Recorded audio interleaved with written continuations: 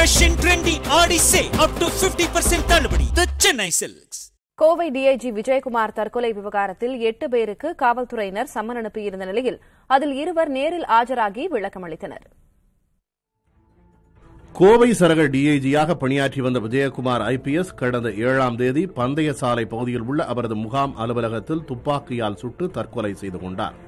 DIG Vijayakumar தற்கொலை வழக்கு கோவை ராமநாதபுரம் காவல் நிலையத்தில் பதிவு செய்யப்பட்டு விசாரணை நடைபெற்றது.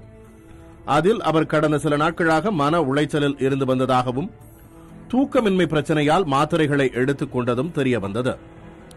டிஐஜி விஜயகுமாரின் மறைவுக்கு இணையத்தில் பல்வேறு கருத்துகள் பரவத் தொடங்கின. அதில் பலரும் பல்வேறு விமர்சனங்களையும் முன்வைத்தனர். குறிப்பாக சர்ச்சைக்குரிய வகையில் கருத்து வெளியிட்ட எட்டு பேருக்கு பதினெட்டாம் தேதி ராமநாதபுரம் காவல் நிலையத்தில் நேரில் ஆஜராகும்படி கடந்த பதினாறாம் தேதி சம்மன் அனுப்பப்பட்டது. அதன்படி பதினெட்டாம் தேதி ராமநாதபுரம் காவல் நிலையத்தில் இந்திய மக்கள் மன்றம் என்ற பெயரில் பத்திரிகை நடத்தி வரும் வராகி மற்றும் பேசு தமிழா பேசு யூடியூப் தளத்தின் நிறுவனர் ராஜவேல் நாகராஜ் ஆகிய இருவரும் நேரில் ஆஜராகி விளக்கம் அளித்தனர்.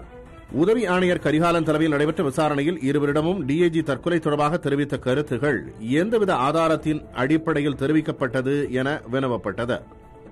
நான் ஒரு குறிப்பிட்ட சில விஷயங்களை சொல்ல முடியாது. ஏன்னு கேட்டீங்கன்னா இந்த காவல்துறை மேலே எனக்கு சந்தேகமா இருக்கனால தான் சிபிஐ விசாரணை வேணும்னு நான் கேட்டிருக்கேன். சிபிஐ விசாரணை வேணும்னு கேட்கிறேன். ஏன்னா எந்த அதிகாரி ஃபிக்ஸ் பண்ணிட்டார் மைண்ட்ல ஏடிஜிபி அருண் வந்து முதல்ல ஃபிக்ஸ் பண்ணிட்டு வந்து சொல்றாரு. இது வந்து சூசைடுன்னு சொல்றாரு.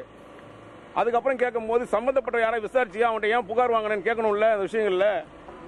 சார் நான் யாரையும் குற்றச்சாட்டு சொல்ல சார். நான் எந்த அதிகாரி குற்றச்சாட்டுகள் சொல்றேனோ இவருடைய உயரதிகாரி இறந்து போனவுடைய உயரதிகாரிகள் மீது நான் குற்றச்சாட்டுகளை சொல்றேன். அவருக்கு கீழே பணிபுரியவர்கள் வந்து அவருக்கு மேலான விஷயங்களை எப்படி எடுத்துட்டு போய் அவர் நடவடிக்கை எடுப்பாங்களா? சம்பந்தப்பட்ட அதிகாரிகளையே நீங்க அப்புறப்படுத்திட்டு வேற இடத்துல இதான தமிழக முதலமைச்சர்கிட்ட வைக்கிற கோரிக்கை என்னன்னு கேட்டீங்கன்னா எனக்கு எந்த வித உள்நோக்கம் கிடையாது. என்னிடம் அவர் பேசிய கருத்துக்கள் டிஏஜி அவர்கள் என்கிட்ட பேசிய கருத்துக்களை என்னோட சொன்ன பகிர்ந்துட்ட விஷயங்களை தான் நான் ஊடகங்களில் சொல்லியிருக்கேன். சம்மன் அனுப்பிய எட்டு பேரில் இருவர் மட்டுமே நேரில் ஆஜராகி விளக்கமளித்துள்ள நிலையில் மீதமுள்ள ஆறு பேர் மற்றும் அவர்கள் தரும் ஆவணங்கள் குறித்து விசாரணை தீவிரப்படுத்தப்படும் என காவல்துறை தரப்பில் தெரிவிக்கப்படுகிறது. புதிய தலைமுறைக்காக கோவையிலிருந்து செய்தியாளர் பிரவீன்.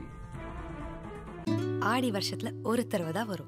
அதுவும் நம்ம சென்னை சில்க்ஸ் போல வருமா?